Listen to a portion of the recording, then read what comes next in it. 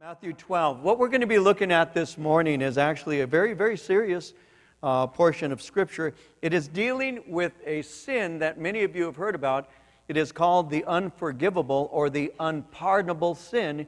It is referring to what has been called the blasphemy of the Holy Spirit. And so, as we go through our study here in the, the Gospel of Matthew, we've arrived at a portion of Scripture in chapter 12 where the Lord Jesus Christ begins to speak concerning this particular sin. So let's beginning, let's begin uh, at verse 22 here in Matthew chapter 12, and I'll read uh, up to verse uh, 32. And we're looking at the unpardonable sin, beginning at verse 22. Then one was brought to him who was demon possessed, blind and mute, and he healed him, so that the blind and mute man both spoke and saw. And all the multitudes were amazed and, and said, Could this be the son of David. But when the Pharisees heard it, they said, This fellow does not cast out demons except by Beelzebub, the ruler of demons. But Jesus knew their thoughts and said to them, Every kingdom divided against itself is brought to desolation, and every city or house divided against itself will not stand. And if Satan casts out Satan, he is divided against himself. How then will his kingdom stand? And if I cast out demons by Beelzebub, by whom do your sons cast them out? Therefore, they shall be your judges. But if I cast out demons by the Spirit of God, surely the kingdom of God has come upon you. Or else, how can one enter a strong man's house and plunder his goods unless he first binds the strong man? And then he will plunder his house. He who is not with me is against me and he who does not gather with me scatters abroad. Therefore, I say to you, every sin and blasphemy will be forgiven men, but the blasphemy against the Spirit will not be forgiven men.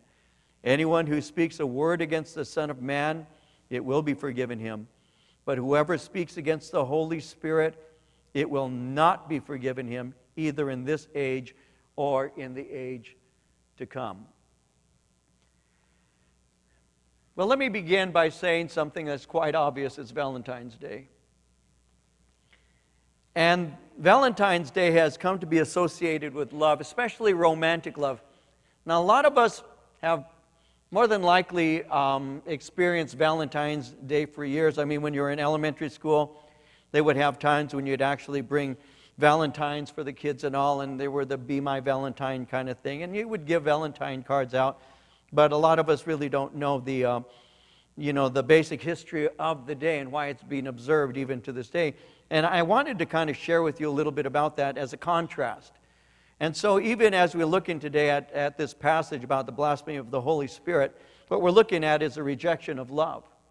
And Valentine's Day in the United States to this day, and I actually applaud the fact that we want to remember what uh, remember things about love, even though I believe very strongly that what Valentine's Day has become for many today is not necessarily a celebration of love so much as a celebration of lust, but that's something different.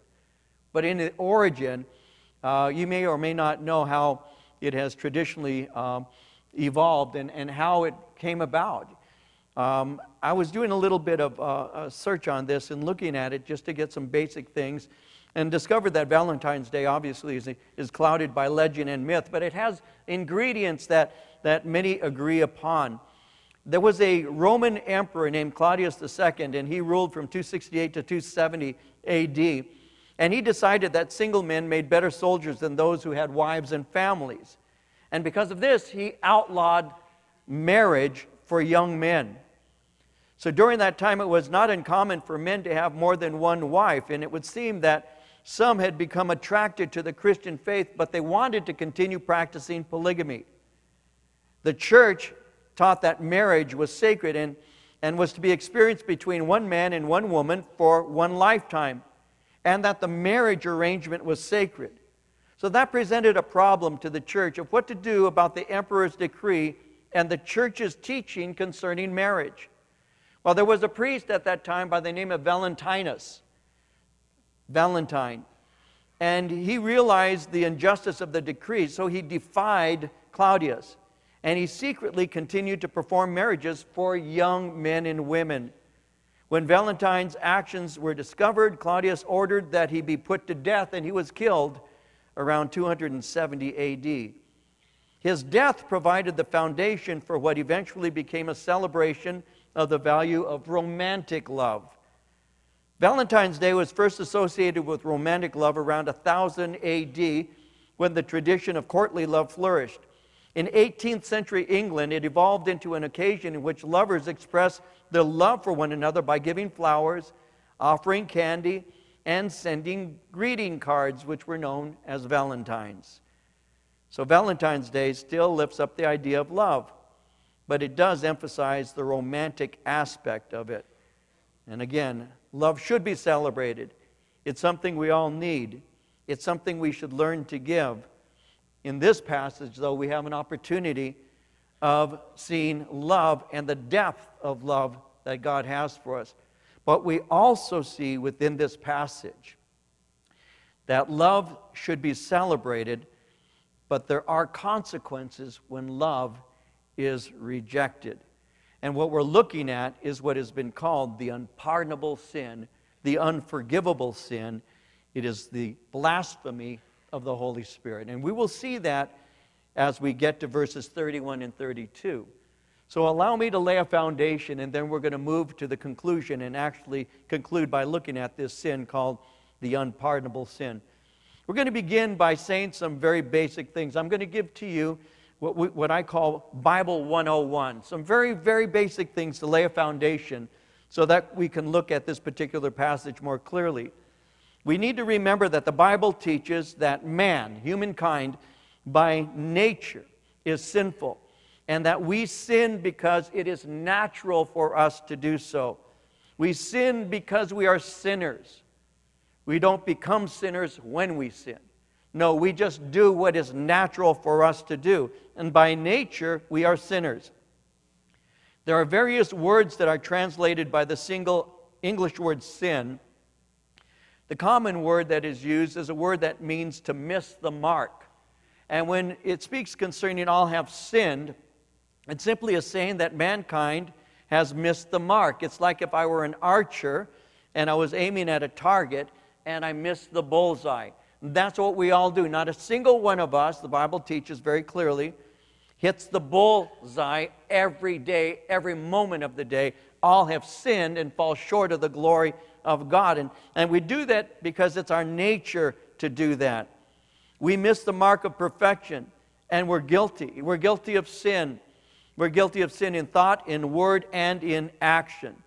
In Ecclesiastes chapter 7, verse 20, it says, There is not a just man on earth who does good and does not sin. So the Bible condemns all under sin. Romans 5, verse 12 says, As sin entered the world through one man, and death through sin. In this way, death came to all men because all sinned. What that means is we have the Adamic nature. Adam is called theologically the federal head of mankind.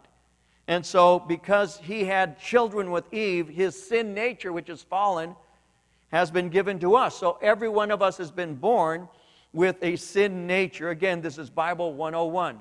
All have sinned and fall short of the glory of God. The Bible also teaches that, that with sin comes the repercussion, comes death. Ezekiel 18, verse 20 says, The soul that sins, it shall die. And with death comes judgment. Is it, appoint, it is appointed unto men to die once, and after this, the judgment. The Bible teaches nothing related to reincarnation other than there is no such thing. The Bible says that you live one time and it's that one life that you have that matters. You're not going to get a second, third, or fourth chance. You die, and if you die in sin, you enter into eternity in sin.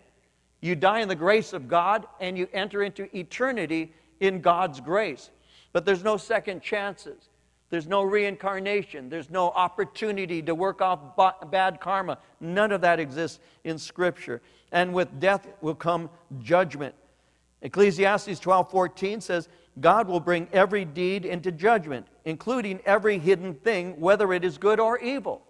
So even the things that we think we're hiding, God sees very clearly. And so on the one hand, you have man clearly portrayed as sinful and ultimately dying and entering into judgment. But on the other hand, throughout the Bible, God is revealed by nature as being forgiving. Psalm 86, verse 5 says, For you, O Lord, you are good and ready to forgive and abundant in mercy to all those who call upon you. In Psalm 103, verse 3, the psalmist said, God forgives all your iniquities. In 1 John 1 9, John said, If we confess our sins, he's faithful and just to forgive us our sins and to cleanse us from all unrighteousness. So God forgives. God by nature forgives and God forgives all sins. So God is open to forgive, no matter how terrible the sin is. And there are some horrible sins, there are some terrible sins that all of us would agree those are horrible and terrible sins. But as terrible as some sins are, there is no sin that is worse than the killing of God's Son. And yet, Jesus prayed for those who put him to death. In Luke 23, verse 34, it records that he prayed, Father, forgive them, for they know not what they do. So the Bible teaches God is forgiving and is able to forgive no matter how terrible the sin is. He also forgives no matter how long a person has sinned. I mean, it's wonderful if you got saved when you were a little boy, little girl. But I remember giving an invitation in this church where a man who was around 80 years old came up and gave his heart to Christ. No matter how long you sin, even a lifetime of sin, God is willing and able to forgive. There was a man on the cross next to Jesus, a thief, and at the very last moment of his life, he asked Christ for forgiveness, and Jesus said, Today you shall be with me in paradise. And God will forgive no matter what kind of sin we commit. God is able and willing to forgive. In verse 31, it said, Every sin and blasphemy will be forgiven men. God will forgive any sin no matter what kind of sin it is. I had a friend of mine, his name was Rick. His name is Rick. And uh, I had been saved for a very short time. I was 23 years old. And there was a knock on the door. I was living at my parents' home. I had just gotten out of the military. And uh, I was living at my parents' house, and I'd started a Bible study. And I answered the door, and there, standing in front of me, is a friend of mine I went to high school with. Actually, I'd known him since we were in elementary school. His name was Rick. And as I looked at him, he was a, a little inebriated. And he said, I didn't know if you were going to be here, here or not. I just got out. He was in the military also. I just got out, and I thought I'd come in and uh, check you out, see how you're doing. So I welcomed him into my parents' home. My parents were, were not there at the time, and we sat at the uh, kitchen table and began to kind of speak and all. And I'd known him, like I said, since we were kids. And now we're in our early 20s, and, and he's a little inebriated, and he says to me, Why don't you walk with me? I want to go to the liquor store. And um, a five minute walk from my house, just at the corner, was a store that he wanted me to go uh, with him to. And and I began to think, and I thought, well, you know, Rick, you're drunk, man. I mean, you've been drinking, and, and, and I've been saved in just a couple of years. And my testimony, I want people in this neighborhood, because they knew me. They knew, my neighbors knew me, and they knew what kind of person I was. And I, I, I don't want to soil my reputation. I, you know, if they see me wandering with you and you're kind of staggering, they're going to think that I'm getting drunk too. And, it's, and, I'm, and I'm, I'm thinking within myself, and it all just is going so quickly. And the Spirit of the Lord speaks to my heart and says, You need to go with them. And I remember saying, But I don't want to be identified with this. And he said, I'm identified with you. And I said, Okay, I'll go. True story. I'm identified with you. Go. So I went with him. And yes, he went into the store and he bought himself a, a, bottle of wine. But he was one of these real sneaky guys. He, he hid it in a brown bag so nobody would know what was in that bag. He likes to drink his soda that way and all. So, but he finished the bottle before we even got to my house. I mean, he just downed it. It was gone, and then he threw the bottle in the field. There was a field right across the street from where I lived at that time. Then he comes to my house and he sits down and he's across from me at the table, and we're continuing to talk. And I finally begin to share a little more about the gospel. And I say to him, Rick, you need the Lord.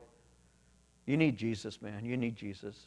And he says, Why would I need Jesus? I said, You need Jesus because you're a sinner You need Jesus because you're lost. I gave my heart to Christ and I told him how I had gotten saved more clearly, gave more testimony. He and I knew each other. Like I said, I mean, we got loaded together, we got drunk together, we got in trouble together. I mean, we were friends for a long time, and we were, we were real, real mischief makers there where we lived, and my friends, all of us were. And that was just the way it was, and Rick was part of the gang. And some of you guys will understand when I say this. Uh, Rick was one of the guys, though, that was kind of like the fringe guy. He was the guy that that was the low man on the totem pole. So when kids are 12, 13, 14 years old and they're hanging around and mom's not home and just the boys are in the front room, uh, he was the one where we would yell, dog pile, and we'd jump on Rick and we'd lovingly punch him. That was the guy, you know, he, he couldn't take care of himself, he, you know, and so we all, you know, we're like, you know, piranhas, you know, young kids can be that way, and that's how we were. And that's how a lot of the boys were. We just like to fight and mess with each other. And, and Rick was the guy who always got piled on, always. And so, as we're there talking, and I'm sharing with them about the Lord, he, he says to me, Does God forgive every sin? And I said, Yes. Yes, Rick. He forgives every sin.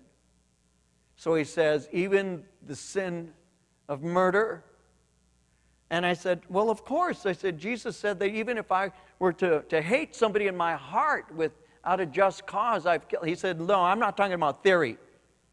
I'm talking about fact.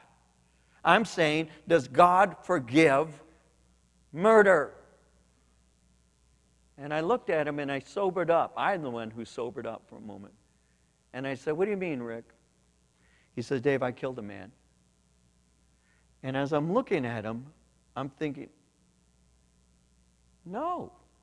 No, you're the guy we used to pile on. You're the guy who didn't have that in you. You didn't have that in you. I said, You killed a man. Turns out he was in the military, stationed in Korea. He was a courier.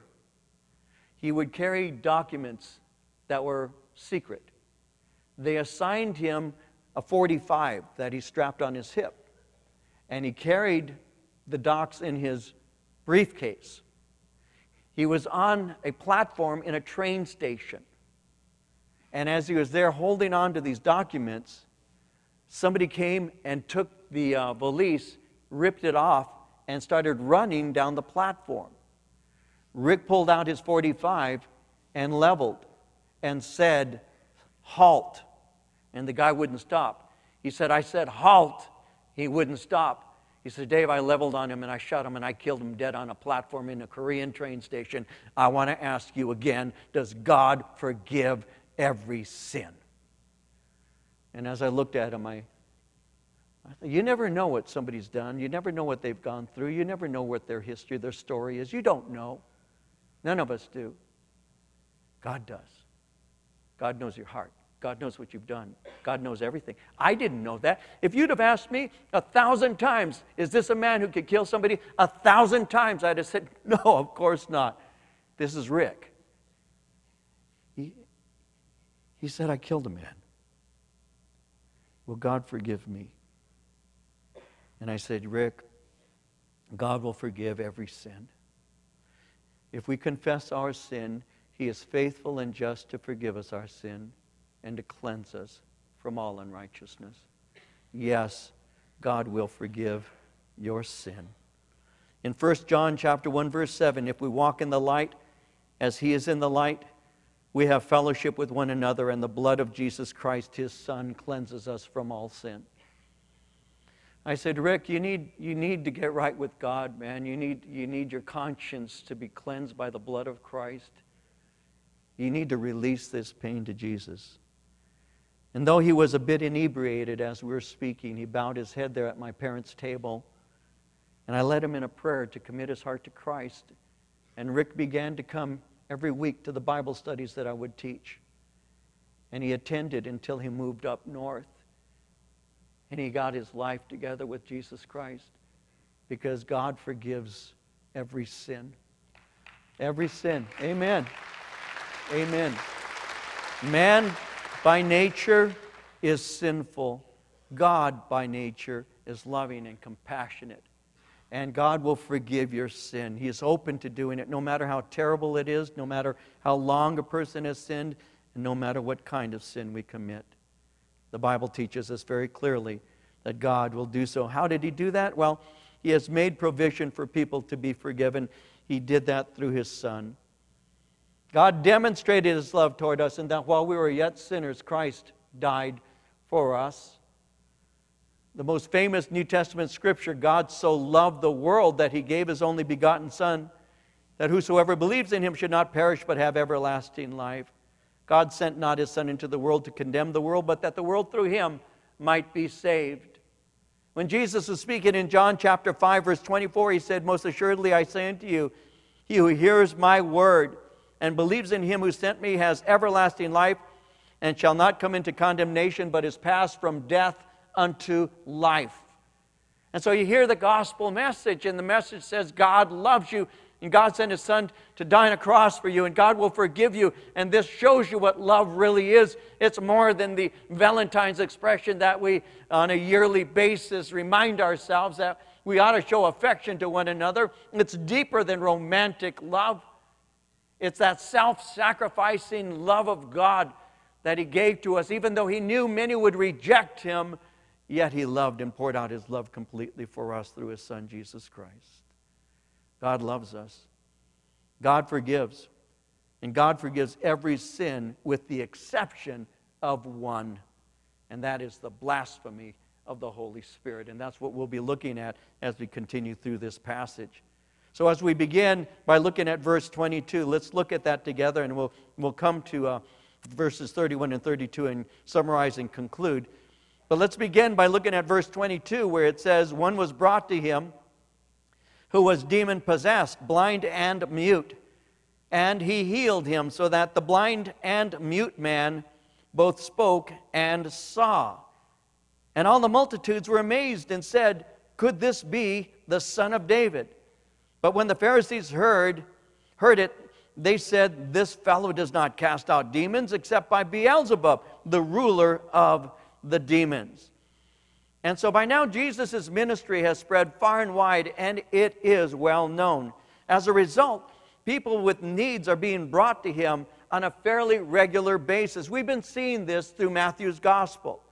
We saw in Matthew chapter 8, verse 16, when evening had come, they brought to him many who were demon possessed. He cast out the spirits with a word and healed all who were sick. We saw it in chapter 9, verse 2. Behold, they brought to him a paralytic lying on a bed. We saw it in Matthew 9 32. While they were going out, a man who was demon possessed and could not talk was brought to Jesus. So people are now bringing people to Jesus Christ. That's what we see in the New Testament, and that's what we see even to this day.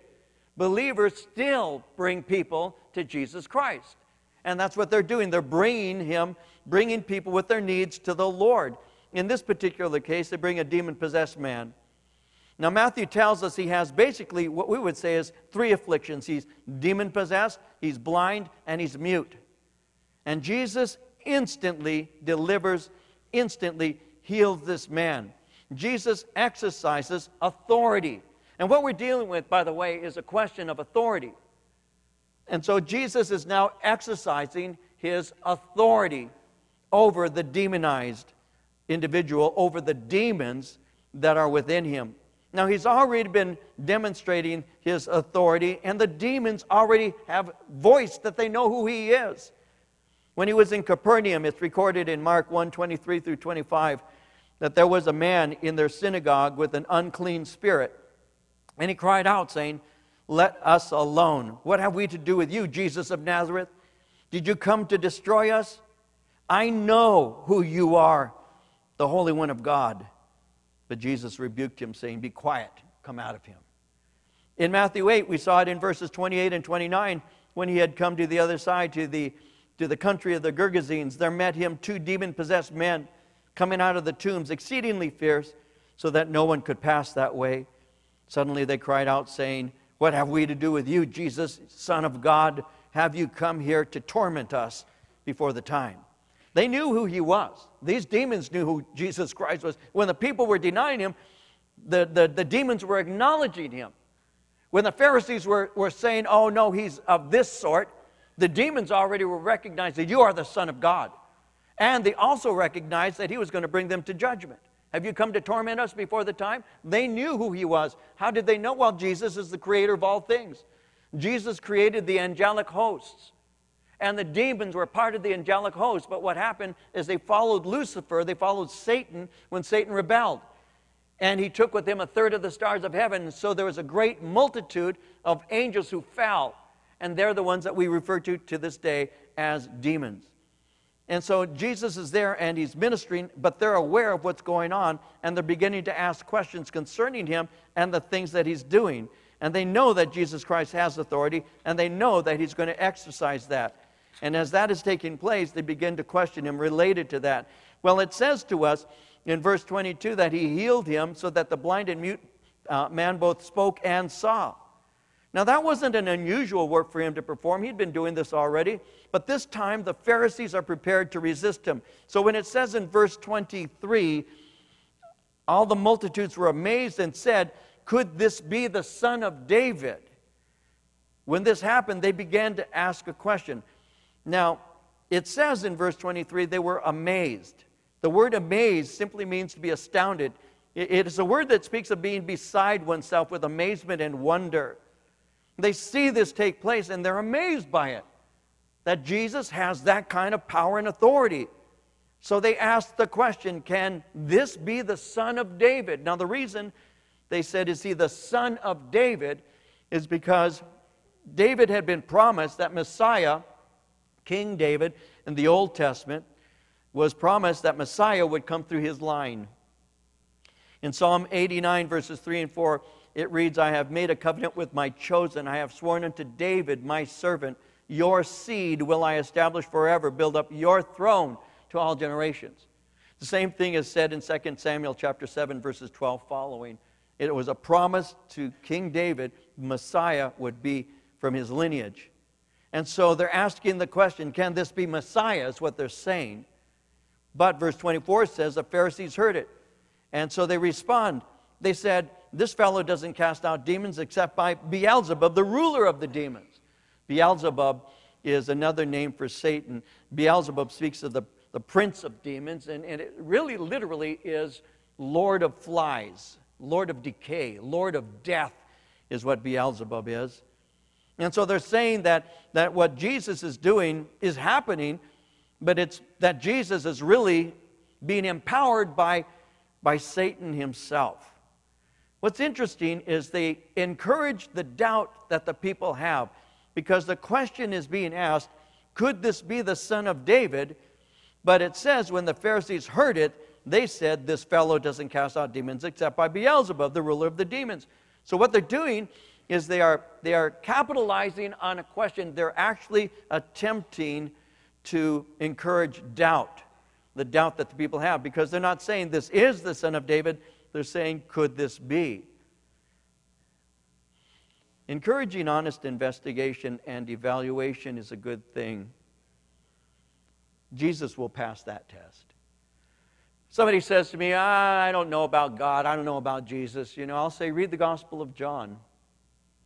See what John testifies concerning Christ, and then let's talk again. You have questions? There's nothing wrong with questions. God is bigger than any questions you have. So ask of God. You think that you can stump him? I don't think so. Do you think he'd lose at Jeopardy? I don't think so. He knows everything. So go ahead and ask him.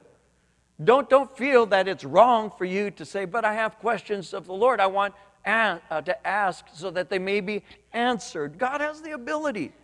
And uh, an honest question should be entertained. As a pastor, I've had questions asked of me that I honestly, I, I, I don't know. I, I can't answer that. But that doesn't mean there isn't an answer. It simply means that I'm just not well versed enough to be able to do that. I don't know everything, but I do know certain things, and the things that I do know, I hold fast to, and the things I'm not sure about, I continue to study. And in this side of heaven, I may not know, but when I'm there before the Lord, then, then I shall know, even as I am known. There will be no questions in heaven. There are people who say, you know, when I get to heaven, I'm going to ask Jesus some questions. No, you're not. No, you're not. No, all of your questions will be answered in that moment. There are no questions in heaven, only answers. And so when you're there, you're not going to say, I just want to know why you didn't let me marry that girl. You're not going to do that, you know. And how come I, you know, you'll never do that. It's not going to happen. I've had people say to me, Oh, I'm going to, you know, I want to see the Apostle Paul. When I get to heaven, I want to see the Apostle Paul. And I always encourage them to do that. I'll say, You know what? That'd be great, man. Spend time with Paul. That gives me more time with Jesus. Because when you get to heaven, and some people think, is there really a heaven? Well, we're not studying heaven today, but Jesus spoke about it and he made a promise and he said, I go and prepare a place for you, and one day he's going to return and take me to be with him. And so that's my heavenly hope. And indeed, one of these days I'll see him face to face. There's no doubt about that. That's the root of my Christian faith, that Jesus Christ has prepared that place for me through faith in him. But the bottom line is, is that questions are okay. There's nothing wrong with having them, and we Christians don't try to brutalize people into believing everything we say. We allow the Word of God to speak in the way that it does, and, and there are answers. And so, encouraging honest investigation and evaluation is a good thing because the Lord will always pass that test. But provoking people to reject Him on the basis of bias and uninformed prejudice is not right. And that's what a lot of people do. A lot of people will just use their bias. You see, they couldn't tolerate the thought that Jesus might actually be their Messiah. That's why they say, this fellow. When, when they say this fellow, that's, a, that's obvious contempt. They're trying to undermine Jesus, his credibility as well as his character. And they were blind. They were filled with theological pride. And they're using sarcasm to bully. And they're saying, in essence, well, you know, it, there are some who say similar things to this day. I mean, even in Bible studies like this, there'll, there'll be some who will say, perhaps they'll hear it on the radio, or perhaps they'll converse after a service, and they'll say, oh, well, that's his opinion, you know, that's what he thinks. And, you know, there are others who believe differently and all of that, and I understand that kind of, of line of reasoning and all. Bottom line is, is that sometimes they do that because they want to convince the person that they're speaking to that, uh, that their own opinion is, is greater than, than God's Word. Years ago, we had a lady in our fellowship, many years ago now, who came and visited on a Wednesday night Bible study. This is when we were in Ontario and we were meeting in a location in, in Maple Street in Ontario. And, and I was teaching through 1 Corinthians, and I got to a certain portion of Scripture that speaks concerning a variety of sins. And as you know, those of you who've been part of this church, we do a verse by verse approach and we go through the scripture says. And so I was there in a, a, particular portion of the Bible that spoke concerning a lot of different kinds of sins that included the sin of homosexuality. And, and I'll always try to give, um, you know, a, a, clear meaning of what that means and all. And that's what I did that, that night. I spoke concerning it. I, I spoke how that many people in the Corinthian church had practiced a variety of sins but Paul goes on to say, and such were some of you, but you've been washed and cleansed, justified. And I shared about how, how we have our testimonies and we do have different sins, but God can forgive us of all the sins. And that's what it says. And it's not like I was taking one sin and making it greater than the other. It was a list of sins. And these are all things that he's speaking about. And so that's what I did and all. And so shortly after, this young woman approaches me and says, Can I speak to you? you know, a, a week or so later, she approaches me and she says, I, I want you to know I was in church uh, on Wednesday when you were teaching out of 1 Corinthians. And I said, Yes. She says, I want you to know that I'm a lesbian. And when you were sharing that, she says, my girlfriend and I were present in the Bible study. And I listened to what it said. And I went home. And we were living together, she said. And so I said to my girlfriend, What we're doing is, is not right. The Bible says it's a sin and says that we shouldn't be deceived into thinking that it's okay, because that's what Paul was saying. Let no one deceive you. Her friend said, That's his opinion. Because she didn't want to step out of the lesbian relationship. She wasn't convicted, but this other young woman was. And so as I was speaking to this young woman, she said, That's what the Bible says. She says, I want to believe and act on what the Bible says. Make a long story short, she gave her heart to Christ. And as she gave her heart to Christ, she was in our church for a long time. Then she moved up north. And now she's a Facebook friend, so I still have, once in a while, I have connection, one form or another, with this young woman. And she'll post pictures or she'll speak about her husband and her children and her life of service to Jesus Christ. Because God forgives every sin. But you, you will, amen. That's worthy of, of saying thank you, Jesus. Absolutely. And yet you will have some who will say, oh, no, nah, no. And that's what the Pharisees are doing. We have given invitations here where somebody has wanted to get up only to have a boyfriend holding them back. I've had ushers tell me that. That the young lady wants to get up and you'll see her, and then the argument ensues. No, no, no. That's what the Pharisees do. The Pharisees did that. So they're not denying that Christ performs these deliverances. They're saying he does it through the power of Satan and they're trying to undermine who Jesus Christ is and what he does, and they use a bullying technique to do that. The, the Pharisees are well known for their sarcasm. In John 7 47 through 49, it says, The Pharisees answered them, Are you also deceived? Have any of the rulers of the Pharisees believed in him? This crowd that does not know the law is accursed. That's how they would think, and that's how they spoke. So they weren't saying that Jesus didn't do works. They were simply crediting those works to Satan. They couldn't deny that he performed miracles, so they had to find another source of his power. And that's what they wanted to do. This is an attitude that remains, by the way, it remains with them to the very end. In John 11, 47 and 48, it says, The chief priests and the Pharisees gathered a council and said, What shall we do? For this man works many signs. If we let him alone like this, everyone will believe in him. The Romans will come and take away both our place and nation. This man works many signs. They didn't deny that he was doing signs, so they wanted to ascribe the signs of power to Satan. Now, we've seen this before. This isn't a new accusation. When we were in chapter 9 of Matthew, in verses 32 through 34, there it says, They went out, behold, and they went out, behold, they brought to him a man mute and demon possessed. And when the demon was cast out, the mute spoke, and the multitudes marveled, saying, It was never seen like this in Israel. But the Pharisees said, He casts out demons by the rule of the demons. That is common practice, by the way, when you are in opposition to somebody or their ideas or teachings. If you want to undermine their ideas, all you need to do is call question into question their character. It's called ad hominem arguments. You argue against the man, not the ideas. And if you can make the man look bad, the ideas go out with the man. You see this in politics all the time. I'm not going to get political on you, it's just something we're all familiar with. That's what they do. Instead of arguing the, the argument, the idea, we just suddenly will speak concerning the person, and in doing so, we undermine their credibility.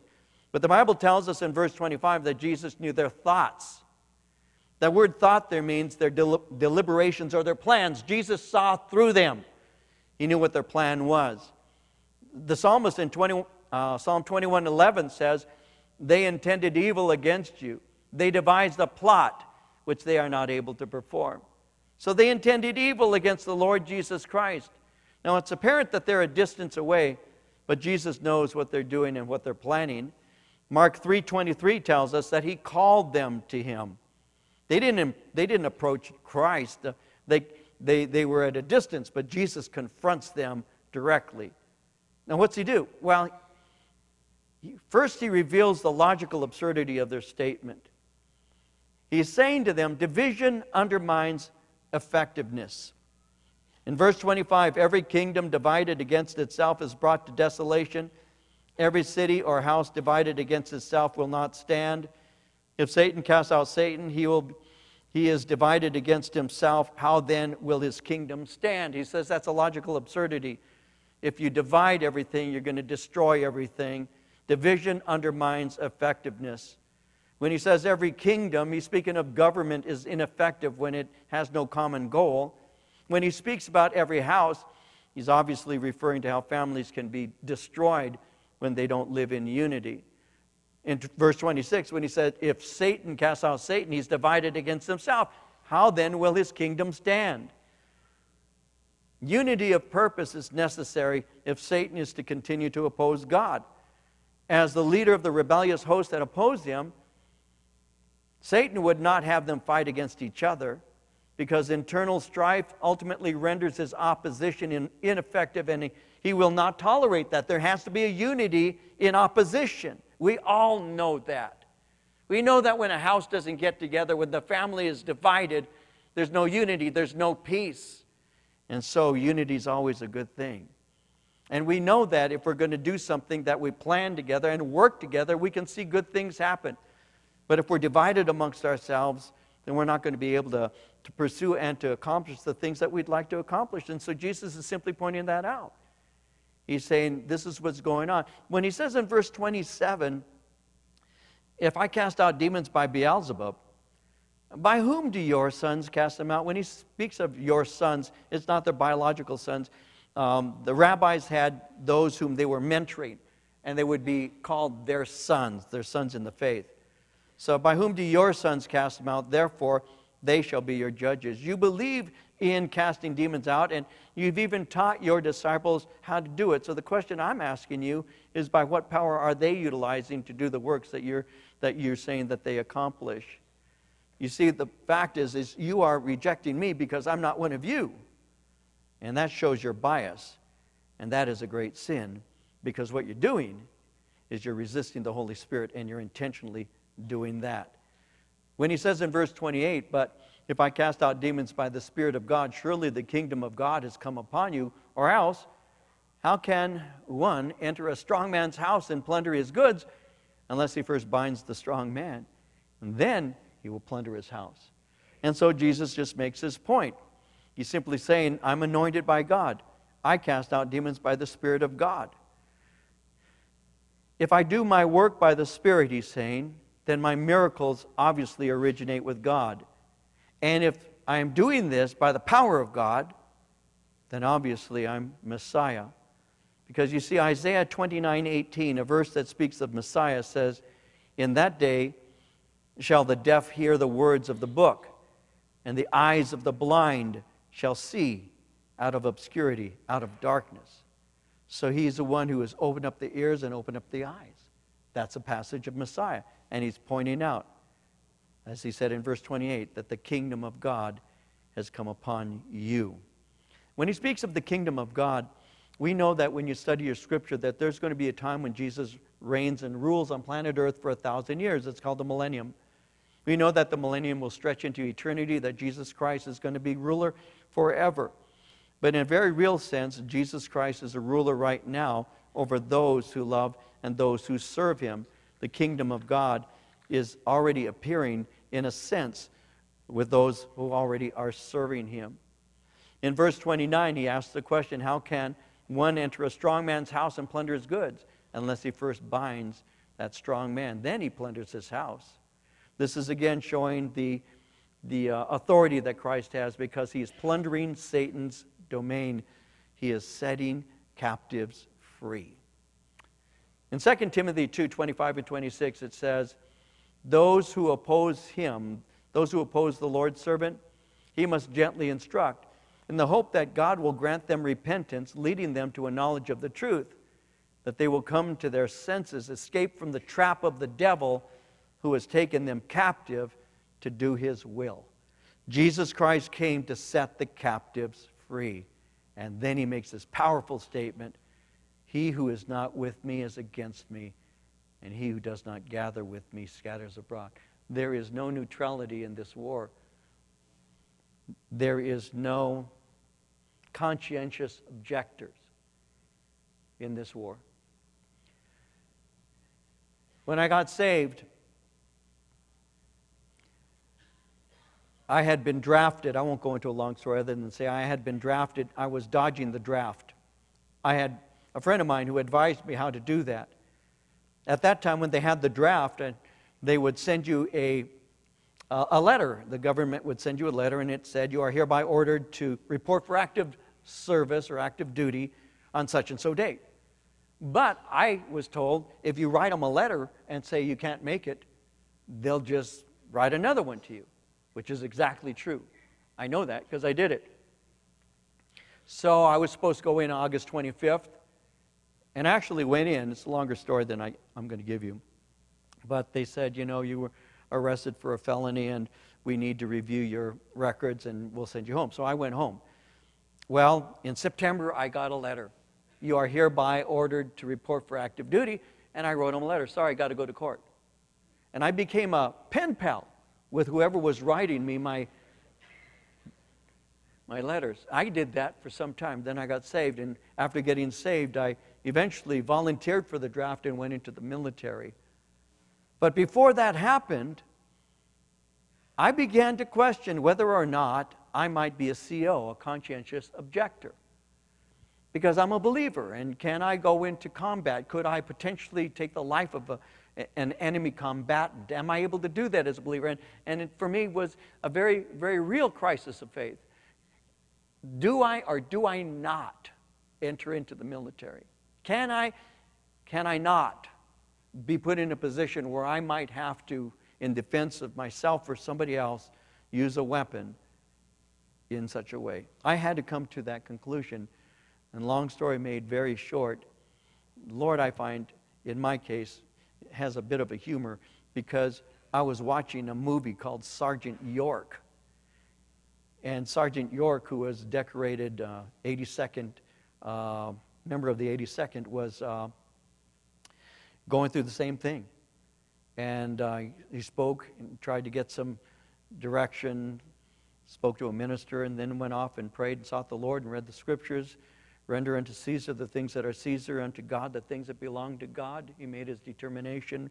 He went into the military, and, and the rest is, is American in military history. And, and as I saw that, I, I came to the same conclusion. And that's how I went into the military, is making a decision to do that which I should do. You see, I was not a CO then, and I'm not a CO now. I believe we're in a war right now. And I'm not on the sidelines. I'm somebody who's an active combatant, the way we all are. See, you cannot choose to um, not be in the war. You, you, you can't write letters to God saying, you know, I'm sorry, I'm going to court. It doesn't work. Either you are on His side, and this is very, very real. Either you are on the Lord's side he says, and we'll read it again, and I'll say this He who is not with me is against me. He's not saying potentially, he's not saying could be. No, he's saying, if you are not with me, you are against me. You see, with the Lord, there are some very black and white statements that he makes. And, and I realize that today, I realize that we'd like to find a loophole in everything so that we don't have to do what it says, especially when it's difficult, but that's not how Jesus works. That's not how God works. Either, he says, you are for me or you are against me. Either you gather with me or you scatter. But you're not going to do both at the same time. That's where it becomes very, very important for us to know which one am I?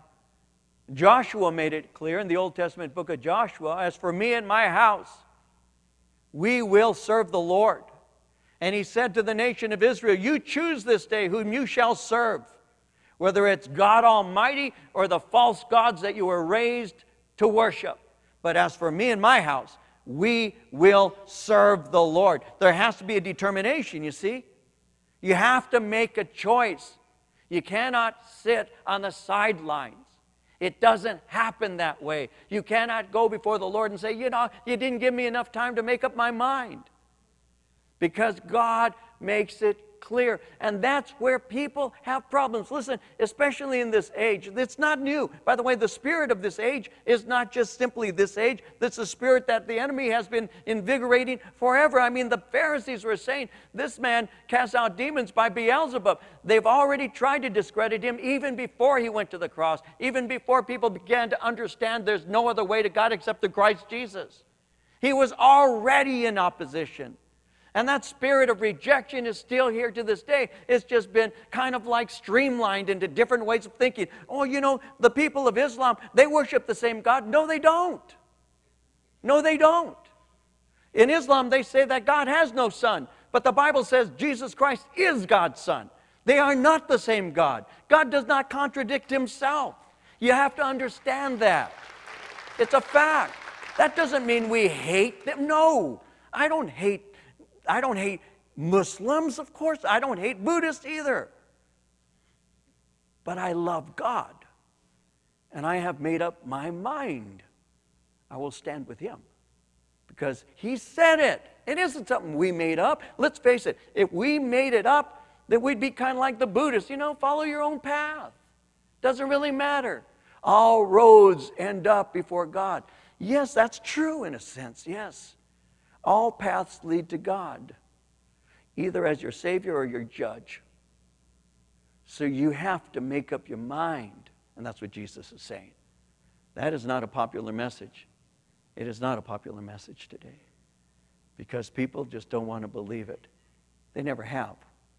But the enemy is working overtime to cloud the minds of people. One, he encourages you to be biblically ignorant, not to read your Bible, not to be in Bible studies, not to be a real divider of the Word of God. He, he doesn't want you to be that.